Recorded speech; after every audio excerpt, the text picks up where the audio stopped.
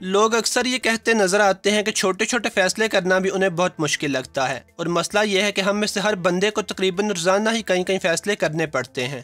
جیسے اگر کوئی بندہ آپ کے ساتھ برا کرتا ہے یا اگر آپ کا کوئی دوست آپ کے ساتھ زیادتی کرتا ہے اور آپ اس سے دو ٹوک بات کرنے کا یا اسے چھوڑنے کا فیصلہ نہیں کر پاتے۔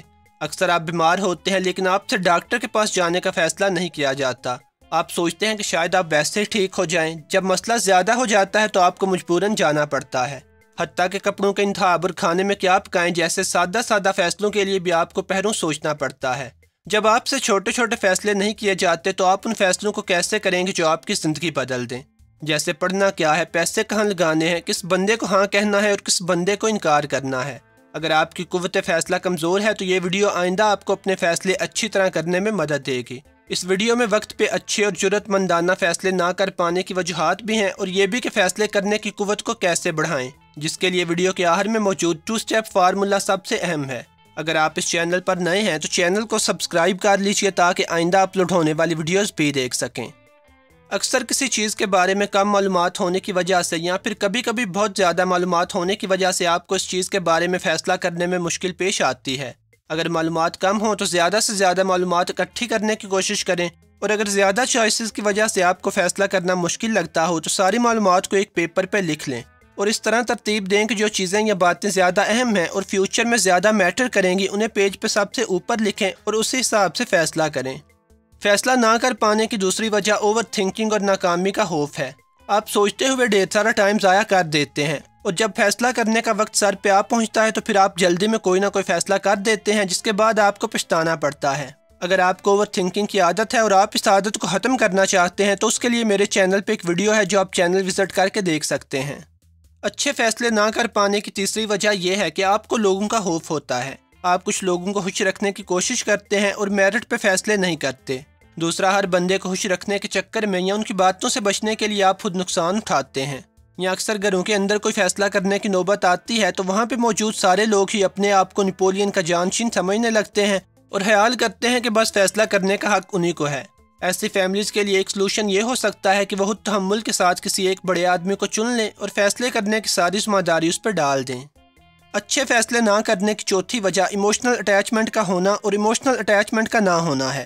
اس کی وضاحت میں کرتا ہوں، اکثر آپ کو اس قسم کے فیصلے کرنے پڑتے ہیں جس سے آپ کے اسٹیٹس یا ریپو میں چینج آ سکتا ہے، یا ان چیزوں یا لوگوں کے بارے میں فیصلے کرنے پڑتے ہیں جن سے آپ کی ایموشنل اٹیچمنٹ ہوتی ہے۔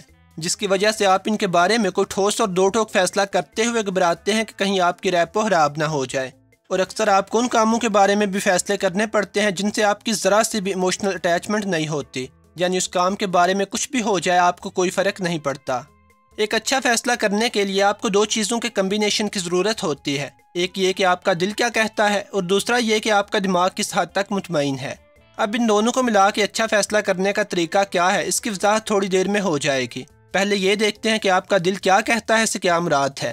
اکثر آپ کسی بندے کو دیکھتے ہیں تو اس کے بارے میں کوئی نہ کوئی رائے قائم کر لیتے ہیں۔ یا اگر کوئی بندہ آپ کے پاس کوئی پلان یا پرپوزل لے کے آتا ہے تو اس کی بات سننے کے بعد فوراً آپ اپنے دل میں کوئی نہ کوئی رائے قائم کر لیتے ہیں۔ تو اصل میں یہ رائے آپ اپنی ساری زندگی کے تجربے کی بیس پہ قائم کرتے ہیں۔ آپ نے جو کچھ زندگی سے سیکھا ہوتا ہے، اس بیس پہ آپ کے اندر کوئی نہ کوئی رائے قائم ہو جاتی ہے، اس لیے اسے اگنور نہیں کیا جا سکتا۔ بلکہ نفسیات کے ماہرین یہ کہتے ہیں کہ جب آپ کسی بندے سے ملتے ہیں یا اس سے دو چار باتیں کرنے کے بعد اس کے بارے میں کوئی تاثر قائم کرتے ہیں اور آپ کے پاس اس بندے کے بارے میں کوئی اضافی معلومات نہیں، تو ہمیشہ اسی رائے کو لے کے چلیں جو آپ نے پہلے تاثر میں قائم کی تھی۔ کیونکہ عموماً ایسے سنیریوز میں آپ کا دل جو رائے قائم کرتا ہے، تو وہ سچی ہی نکلتی ہے۔ خصوصاً سادہ اور آسان فیصلے کرنے کے لیے یہ اپروچ بہترین ہے۔ اور دماغ کی بات سننے سے مراد یہ ہے کہ آپ سارے فیکٹس اور فگرز کو سامنے رکھیں۔ اگر آپ کے پاس کوئی پرانے ریکڈز ہیں تو ان کی بیس پہ بھی اندازہ لگائیں اور سارے حساب کتاب کو سامنے رکھ کے فیصلہ کریں کہ آپ کو کس قسم کا ڈسیزن لینا چاہیے۔ اور زیادہ کمپلیکیٹڈ فیصلوں میں ان دونوں چیزوں کا کمبینیشن یوز کرنا بہترین ہوتا ہے۔ جس کا طریقہ یہ ہے کہ آپ دماغ سے شروع کریں یعنی ساری چیزوں کے بارے میں حساب لگائیں۔ ہر چیز جو غلط ہو سکتی ہے یا جس سے فائدہ ہو سکتا ہے وہ لکھ لیں اور ان کی بیس پہ ایک عارضی قسم کا فیصلہ کر لیں۔ اب اس فیصلے کے بارے میں یہ دیکھیں کہ آپ کا دل کیا کہتا ہے۔ اگر آپ کو لگتا ہے کہ یہ فیصلہ بالکل درست ہے، اگر دماغ کی کیلکولیشنز اور حساب کتاب سے کیے گئے فیصلے پہ آپ کا دل بھی راضی ہے تو وہ فیصلہ کر دیں۔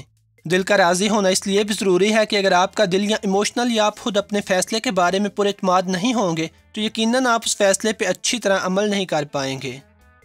امید ہے کہ یہ ویڈیو آپ لوگوں کو پسند آئی ہوگی۔ اس کے علاوہ اگر آپ لوگوں کو انکار کرنے سے گھبراتے ہیں یا لوگوں کو ہاں کہنے کے بعد سوچتے ہیں کہ آپ کو اس بندے کا یہ کام نہیں کرنا چاہیے تھا یا آپ کو اسی وقت انکار کر دینا چاہیے تھا۔ تو اس کے لیے میرے چینل پہ ایک ویڈیو ہے کہ لوگوں کو جرت اور پوری اتھارٹی کے ساتھ وقت پہ انکار کرنے کی عادت کیسے ڈال لیں آپ چینل وزٹ کر کے وہ ویڈیو دیکھ سکتے ہیں اور اگر آپ اس چینل پر نئے ہیں تو چینل کو سبسکرائب کر لیجیے تاکہ آئندہ اپلوڈ ہونے والی ویڈیوز بھی دیکھ سکیں۔ خدا حافظ۔